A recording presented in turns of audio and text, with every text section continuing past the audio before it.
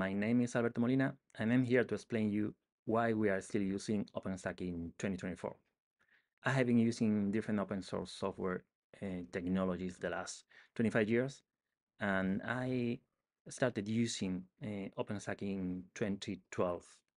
Now I'm working for Fairbanks, a Dutch company that is helping others succeed when managing their infrastructure and we are not only using OpenStack, of course, we are also experts in using other related technologies such as Kubernetes, Ceph, or any other open source software that help us in this field.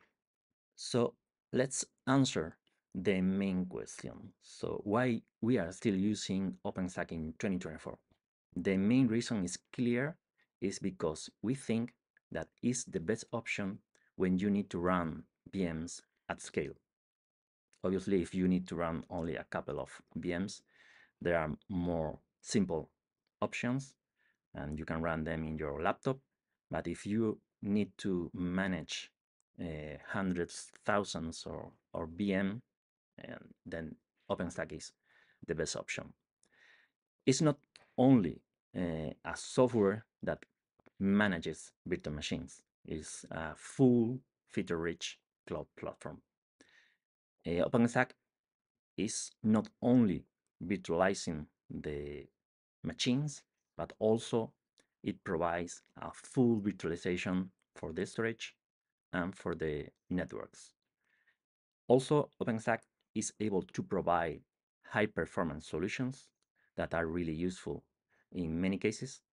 And all these feature rich solution is provided with an open source license.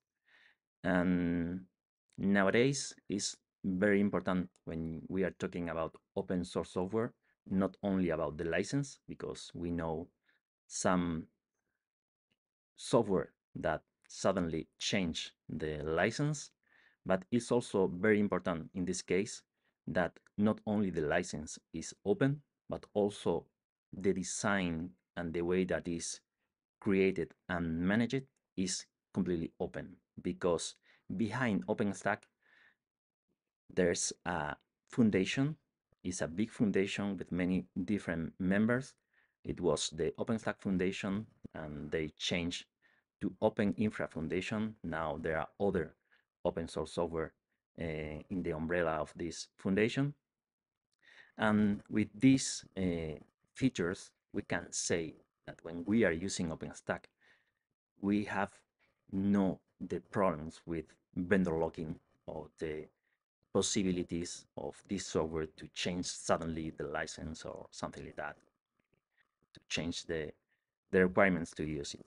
So also maybe to to to explain about the the features something that we also consider very important for OpenStack is that OpenStack is extensible and adaptable. So it's not just a piece of software that you need to run like it was designed. So you can modify and adapt to your specific. After explaining you why we consider OpenStack the best option for running VMs, I also think that it's honest to talk about why not everyone in, in this field is thinking that OpenStack is the best software because there is some people thinking that OpenStack is extremely complex and is not an option for them. I think that is mainly related with some unsuccessful story that happened in the past. When this open source project started, there was a lot of expectations. Many organizations tried to use it, but they probably didn't have the time or the people with the skills and it was difficult to hire people because this um, situation with many organizations at the same moment and trying to to deploy and using OpenStack and then finally that led to some unsuccessful stories. So for this kind of software, infra software, to be in the top of this uh, famous Gartner hype cycle is not good. So it's better to wait to this software to reach the plateau of productivity and it's what we are going to explain in the next Okay, we have been explaining why we consider that OpenStack is the best option if you need to run VMs at scale. But also, we mentioned some problems for some organizations in the past. Not for us, but for me, I have been always really enjoying OpenStack and also I have learned a lot about many different technologies, but I can understand if you don't have the skills to go deeper, or maybe if you don't have the time, then it could be, it was, it was um, not easy to manage that. But also, we want to mention that the situation with the project has changed. So if you had those problems in the past, it was probably because the open source project was not mature enough. But with the time, obviously, those software in, during the development, they improve. And now the situation is better. It's obviously better. But why is not everyone talking about OpenStack now?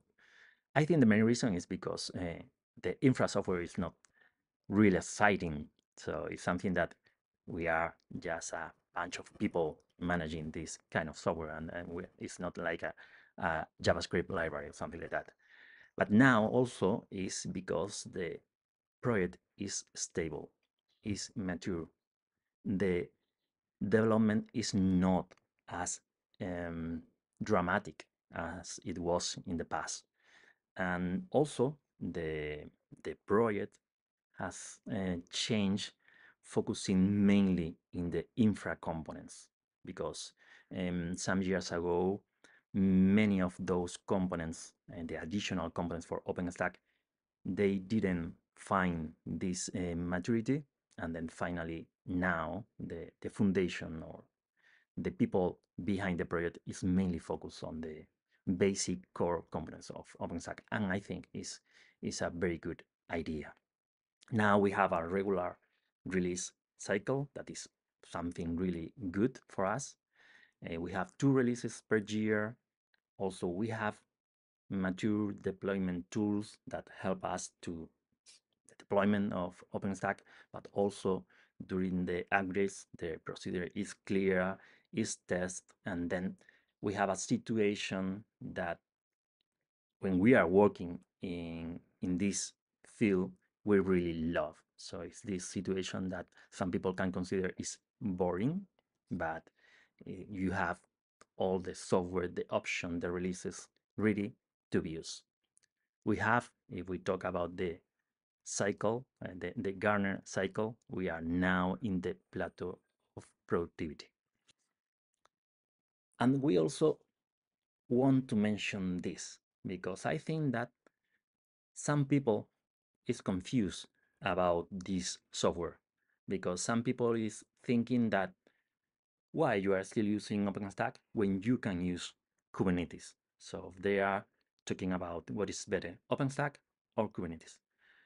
And I think this is the wrong question because they are different software providing different functionalities. So the main difference is it depends on what you need to run. So if you need to run mainly containers and your applications are cloud native applications, obviously then the software that you need to use to manage this is Kubernetes. But if you need to run VMs, you can run VMs with Kubernetes. But if you need to run VMs at scale, then obviously OpenStack is should be your choice. But also, it's something that uh, uh, I want to mention, it's possible to use both. So because for many organizations, at this moment, the situation is that they have workloads running inside containers, but also at the same time, other workloads running in VMs. So you can combine them.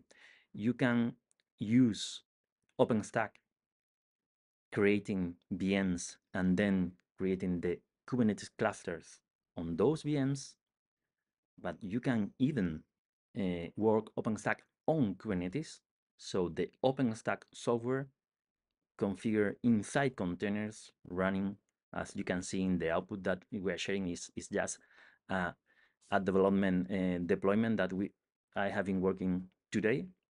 And then I, I added to the this slide. So it's just this, though some Horizon and Keystone are some of the components of, of OpenStack. And then you have this situation. So you can work with Kubernetes, you can work with OpenStack, but you can also combine them. I think it's also good to know who is using OpenStack. And then to have an idea about the, the size of the of the OpenStack clusters and how the people is using this software, I think the main source of knowledge is obviously the analytics that the Open Infra Foundation is providing every year. These analytics are based on the survey that the Open Infra share with the community every year. I have been participating in, in many of them. And then you can see very interesting data about the size of the open cloud software, the companies that they are using, and so on. Now, uh, also at Fairbanks, we can see that in the last month there there is we are we can see a new wave of user or organization that are asking us about OpenStack that is mainly related to the people that is stopping using VMware. Okay, then for finishing this video, I think that it's clear that for us, the main reason to still using OpenStack in 2024 is that many organizations still need to use VM at scale, and then this is the best option. So we are sure that we will continue using OpenStack next year in 2025, um, feel free to reach us if you have any questions.